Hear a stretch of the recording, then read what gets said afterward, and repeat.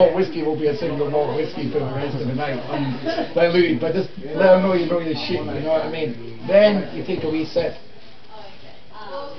a wee sip, under tongue in that, and you're probably tasting about 80% of the flavour just now.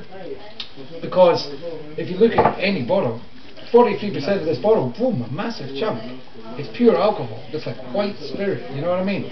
So that's what's giving you that warmth there. But we want to taste all these delicate flavours which have taken so long to get into this whiskey in the area, you know. And at the moment we're going to taste about 80%. So what I'm going to do is I'm then going to put a tiny little spit of room temperature, tepid water on its back.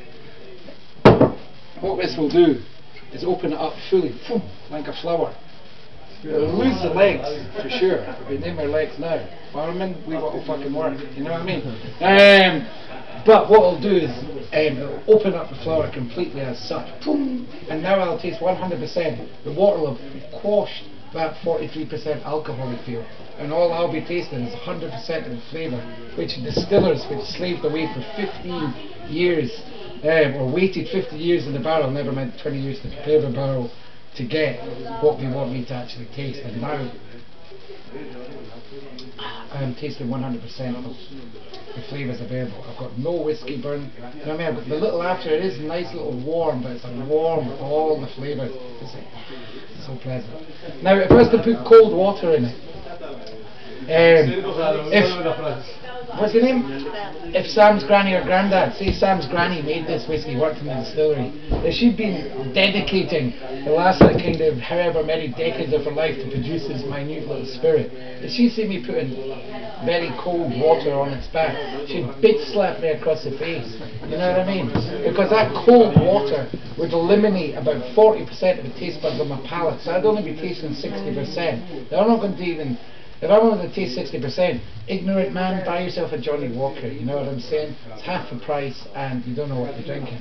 Ice, sacre bleu, start stringing up the lynching rope just about. Now, because ice will take away like even more of your palate, you know? To be so insulting as to put like Coca-Cola or something on its back, the fucking sacre rope, lynch, gone, you know what I mean? Um, Coca-Cola or Irn-Bru, which you can make you could fill Loch Ness wi' Irn-Bru in what? In fact, you could probably do it in like a day or something, you know what I mean? Compared to these single malt whiskies, like, let me give you an example. Bell's Distillery, they, they're a blended whiskey, like your Johnnie Walkers or whatever. The blended whiskies, no word of single malt malt. And they produce 55,000 barrels a week, you know? These guys and that are producing like 15, one five barrels a week. You know what I mean? You smell the coffee on the like massive scale difference.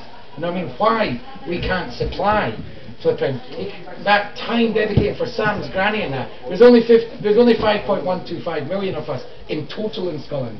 And not every single fucking one of us is working in the production of whiskey to supply the 80 million Scottish descendants, never mind the massive, which is almost equal Asian market. Fuck all to do with Scottish descendants, they just love your whiskey, man.